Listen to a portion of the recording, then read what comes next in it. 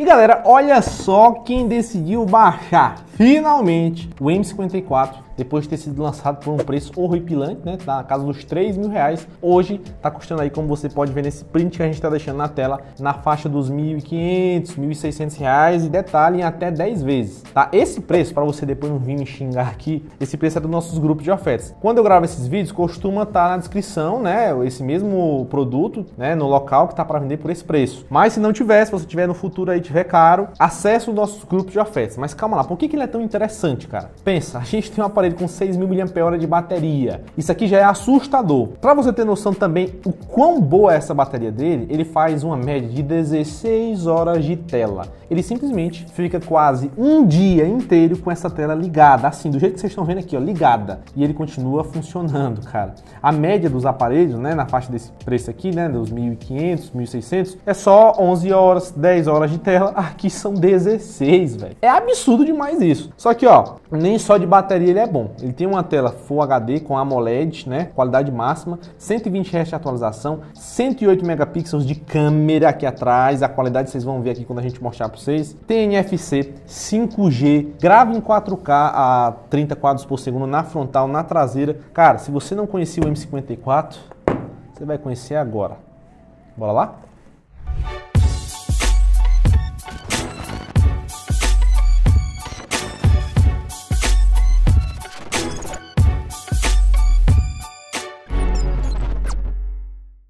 E aí galera, prazer, eu sou o Gerson, deixa eu limpar ele aqui, rapaz, porque essa traseira dele tem que ser mostrada ó, bonitona. Ó. Esse é um aparelho que chamou muita atenção do mercado, tanto é que a Samsung, ela lançou ele lá fora, em outros países, é, como é F54, né, para dar uma diferenciada no mercado. E aí, esse cara tá sendo um sucesso tremendo no Brasil depois que o valor baixou. Mas será que compensa para você? Tem coisas nele que talvez não vão te agradar, e eu vou te contar nesse vídeo, acredita? Pois é, não esquece de deixar o gostei aqui embaixo, vocês estão esquecendo, e a gente faz um conteúdo de utilidade pública, né? Porque assim, eu posso muito bem falar desse aparelho e você acha, rapaz, o Gerson aí estão pagando ele não sei quanto para falar bem desse celular. Mas não, estou aqui com a minha sanidade intacta, que meu estilo de vídeo aqui é diferente. Eu quero falar para você é o que ele tem a oferecer e o que é que eu consigo encontrar com outras marcas, né? Colocando nessa mesa, é, que poderiam ser melhores para você, tá entendendo? O diferencial desse cara aqui que nenhum outro tem no mercado é a bateria. De resto, tem coisas nele que outros aparelhos da própria Samsung vão ter. Por R$ 1.500 da Samsung,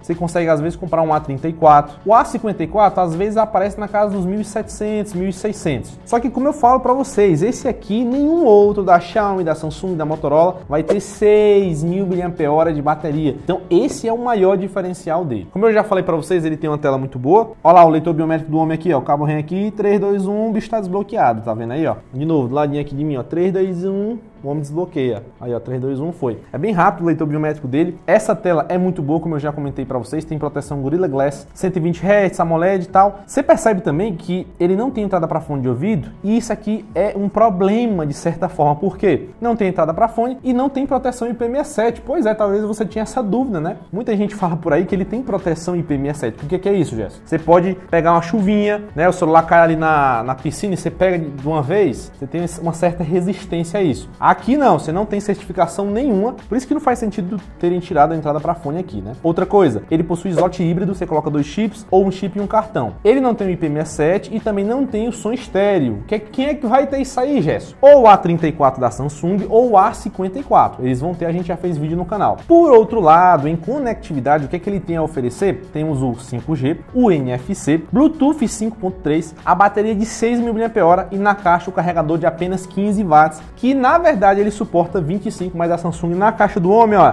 só manda de 15. Pois é, já fique ciente, vai pagar 1.500 nele aqui, fique ciente que você vai gastar mais um 100 comprando um carregador. Se você pegar da Xiaomi, o que é que dá para comprar da Xiaomi por 1.500? Um Redmi Note 12 Pro 4G, talvez em uma boa promoção 5G. Então da Xiaomi já pode tirar de jogo, ele é o manda-chuva dessa área. O maior rival dele são os próprios parentes, como assim, Gesso? O A34 e o A54, que como eu falei para vocês, frente a eles, ele aqui vai ter o grande diferencial na bateria. De resto, o A34 A34 já tem som estéreo e o IP67 e o A54 também. Só que o jogo muda, se eu comparar ele a um 34, quando eu mexer aqui, ó, ó, nessa belezura de câmera aqui, são 108 megapixels, que até no vídeo de comparativo com o A54 eu comentei, galera. Você quer um aparelho focado em fotografia? O M54 é melhor. Quer um aparelho focado em vídeo? O A54 tá com uma otimizaçãozinha um pouco melhor na estabilização e porque grava vídeo em 4K na wide. Aqui não, só grava em 4K no principal e na frontal. Na wide a qualidade é muito boa. Todo o conjunto de câmeras dele é idêntico ao do A54, só no sensor principal que você vai ter aí o sensor de 108 megapixels que é muito bom. Em câmera, cara, qualquer um outro que você coloque nessa mesa desse homem aqui, ó, não vai bater ele, a não ser o A54 nesses pontos que a gente até pontuou no comparativo que saiu deles no canal. Então assim, esse aparelho é fora da curva e tem um público específico. Não é qualquer pessoa que vai querer ele, pô, porque tem gente que vai priorizar o IP67, tem gente que vai priorizar o som estéreo que sai aqui embaixo e sai aqui em cima. Aqui só sai embaixo, é mono, tá? Tem gente que vai priorizar isso e não vai querer ele. É aí onde eu indico o A54. Se tiver uma boa promoção, a gente vai publicar nos grupos de ofertas. Mas, mas, mas, coloca um mais bem grande aí, ó. Se você